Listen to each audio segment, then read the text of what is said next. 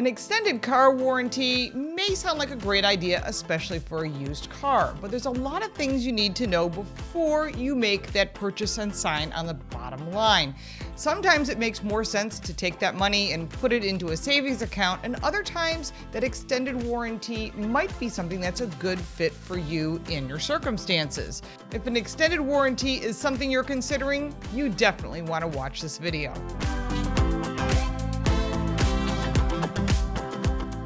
We've had a lot of questions about car warranties, and so we put this together to help you make a wise decision.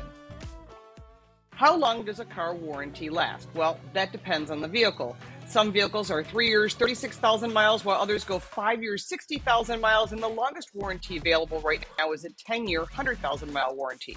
Mind you, that is not always the powertrain, there are other components, and that's where you really need to read that print.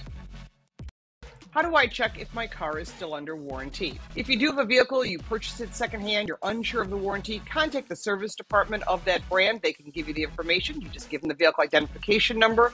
And as long as the maintenance has been recorded, you will be in good shape until that warranty ends. Can you get an extended warranty at any time? Well, the smartest thing to do is to use the existing warranty on your vehicle. And once it gets close to the end of your warranty, that would be the time to consider an extended warranty. If you're purchasing the vehicle used or a certified pre owned from a dealer, it's important to ask before you make the offer on the vehicle. Sometimes that warranty is not transferable, and other times there is a fee. If you're buying from a private owner, that warranty may not be transferable, and then you'll have to consider an extended warranty plan. What's the difference between a car warranty and car insurance? Well, car insurance is a different animal. That's there in case of a collision or an accident or something happens to replace that vehicle or to get it repaired. A car warranty is not a requirement. If you choose to get a warranty, that would cover some of the repairs. Remember, what the big print gives, the small print takes away, and it's very important to take the time to read those extended warranties. They're all completely different.